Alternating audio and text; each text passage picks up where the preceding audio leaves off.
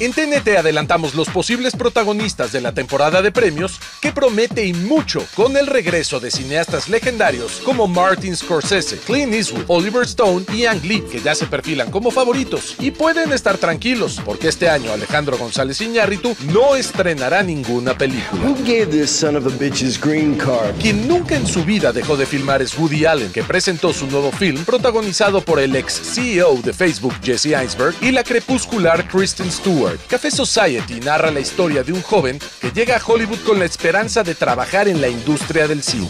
Otro que acaba de llegar a Hollywood, pero en la vida real, es el director chileno Pablo Larraín, que está rodando un film sobre Jackie Kennedy nada menos que con Natalie Portman. Además, su película sobre Pablo Neruda volvió a juntarlo con Gael García Bernal y aspiran a ganar no un premio Nobel como el gran poeta, pero sí otros premios casi tan prestigiosos. La temporada de premios no descansa y todas las novedades están aquí en TNT.